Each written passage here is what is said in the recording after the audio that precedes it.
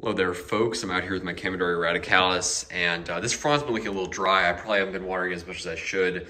Um, I'm in, I need to water more because this is sort of drier soil. I should probably get some denser soil, but I just noticed this. This is, I don't know what this is, but it looks like a problem. I, I want you guys to let me know, but you see those white dots?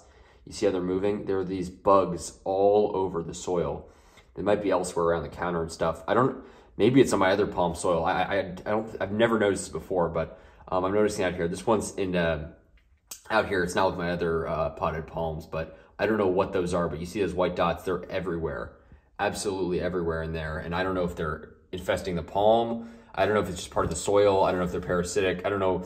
Uh, obviously, yeah, I just don't know. But I, uh, if you guys have any knowledge of this, please let me know because I need to know. Should I, should I, you know, should I be getting some new soil for this thing really soon? Because I'm, I'm, sure they're on the palm uh, too. Although actually, it's funny. I'm not really noticing them on the palm.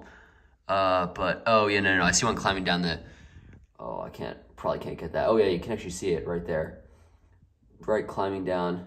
Uh, yeah, anyway, it's right there. And then there's probably some in the trunk, but they're mostly in the soil here. But I don't know what that is, but very, very unusual. I've never seen anything like that. Um, yeah, let me know what you guys think.